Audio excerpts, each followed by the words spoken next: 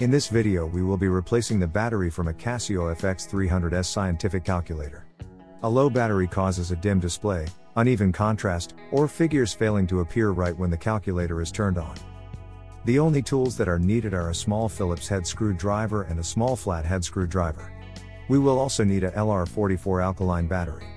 This is a common battery and a link for the battery is included in the description section below. Turn off the calculator by pressing the shift button and the AC or off button. Flip the calculator over so that the back panel faces forward. There are six screws here but you only need to unscrew one of them. Use a Phillips screwdriver to remove the screw in the upper right corner. Remove the battery cover.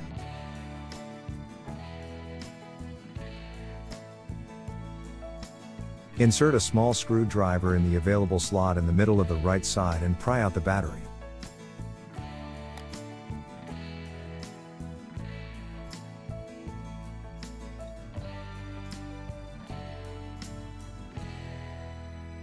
There are inscriptions here showing the orientation of the battery. Place the new LR44 alkaline battery into the calculator.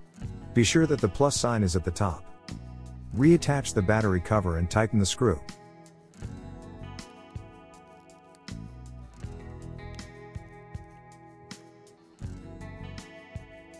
Check to make sure that the calculator is working. Hope this was helpful and thanks for watching.